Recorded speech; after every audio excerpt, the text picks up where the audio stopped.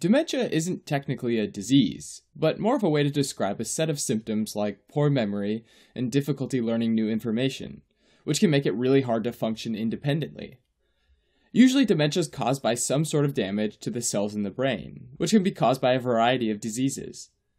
Alzheimer's disease, now referred to as Alzheimer disease, is the most common cause of dementia.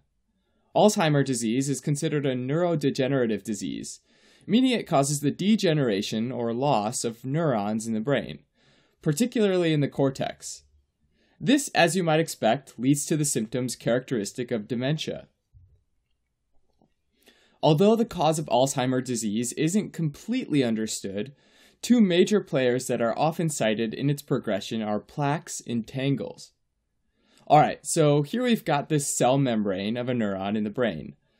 In the membrane, you've got this molecule called amyloid precursor protein, or APP. One end of this guy's in the cell, and the other end's outside the cell. It's thought that this guy helps the neuron grow and repair itself after an injury. Since APP is a protein, just like other proteins, it gets used and over time it gets broken down and recycled. Normally, it gets chopped up by an enzyme called alpha secretase and its buddy, gamma secretase. This chopped up peptide's soluble and goes away, and everything's all good. If another enzyme, beta secretase, teams up with gamma secretase instead, then we've got a problem. And this leftover fragment isn't soluble and creates a monomer called amyloid beta. These monomers tend to be chemically sticky and bond together just outside the neurons and form what are called beta amyloid plaques, these clumps of lots of these monomers. These plaques can potentially get between the neurons, which can get in the way of neuron to neuron signaling. If the brain cells can't signal and relay information, then brain functions like memory can be seriously impaired. It's also thought that these plaques can start up an immune response and cause inflammation, which might damage surrounding neurons. Amyloid plaque can also deposit around blood vessels in the brain, called amyloid angiopathy, which weakens the walls of the blood vessels and increases the risk of hemorrhage, or rupture and blood loss. Here's an image of amyloid plaque on histology. These clumps are buildups of beta amyloid, and this is happening outside the cells. Another big part of Alzheimer's disease, though, are tangles, and these are actually found inside the cell, as opposed to the beta amyloid plaques. Just like other cells, neurons are held together by their cytoskeleton, which is partly made up of microtubules, these track like structures that essentially act like a minecart shipping nutrients and molecules along the length of the cell. A special protein called tau makes sure that these tracks don't break apart, kind of like railway ties. Although, again, it's not completely understood, it's thought that the beta amyloid plaque buildup outside the neuron initiates pathways inside the neuron that leads to activation of kinase, an enzyme that transfers phosphate groups to the tau protein. The tau protein then changes shape, stops supporting the microtubules, and clumps up with other tau proteins and gets tangled, and leads to the other characteristic finding of Alzheimer's disease neurofibrillary tangles. Neurons with tangles in non functioning microtubules can't signal as well, and sometimes end up undergoing apoptosis, or programmed cell death. Here's an image of histology showing these neurofibrillary tangles formed inside the neuron. As neurons die, large scale changes start to take place in the brain. For one, the brain atrophies or shrinks, and the gyri get narrower, which are the characteristic ridges of the brain.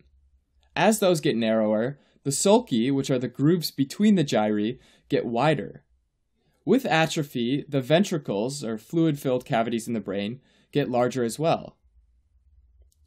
So that's the pathophysiology part. But why does this happen in some people and not others? Well, Alzheimer's disease can be split into two groups sporadic and familial. Sporadic's used to describe the late onset type, where the exact cause isn't very well defined, and is probably a combination of genetic and environmental risk factors.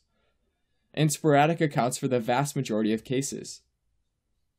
With sporadic Alzheimer's, the risk increases significantly with age, affecting around 1% of people between ages 60 and 65, and 50% of people over the age of 85.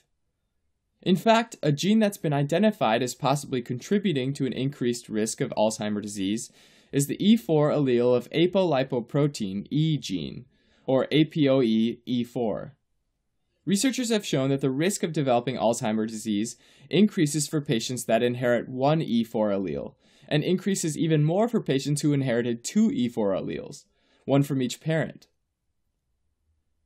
Apolipoprotein E helps break down beta amyloid, but the E4 allele seems to be less effective than the other alleles, like the APOE E2 allele, meaning patients are more likely to develop beta amyloid plaques. Familial Alzheimer's disease, on the other hand, is used to describe cases where some dominant gene was inherited that speeds up the progression of the disease. So sometimes familial Alzheimer's disease is referred to as early onset Alzheimer's. Familial accounts for about 5 to 10% of cases and can be caused by several gene mutations.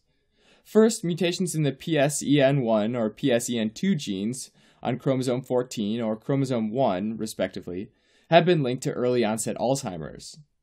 These genes encode for presenilin 1 and presenilin 2, both protein subunits of gamma secretase.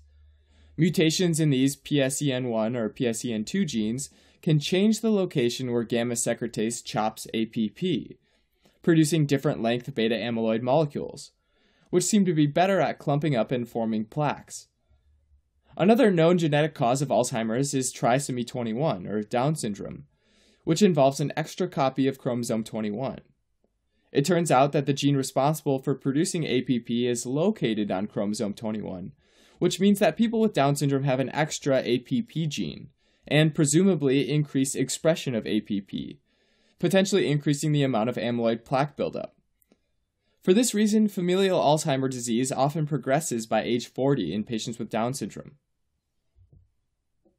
Symptoms of Alzheimer's disease worsens as plaques and tangles build up and damage to the neurons accumulates. In the early stages, symptoms might not even be detectable, as it progresses, though, patients lose short term memory, like, for example, they might not be able to remember what they had for breakfast that morning. They then progress to loss of motor skills, making things like eating difficult without help. Also, language becomes affected, making it more difficult to communicate. Eventually, they lose long term memory, like forgetting the name of their spouse or even that they're married in the first place. And they progressively become more disoriented, which can be dangerous because they might wander from home and get lost. In the late stages, they become bedridden, and the most common cause of death is actually infection, like pneumonia.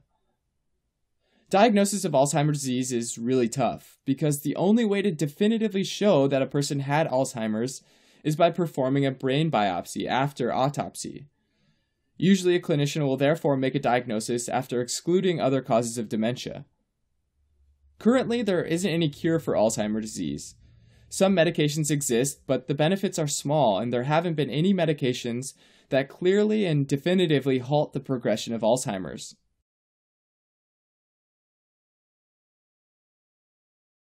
Thanks for watching. You can help support us by donating on Patreon, or subscribing to our channel, or telling your friends about us on social media.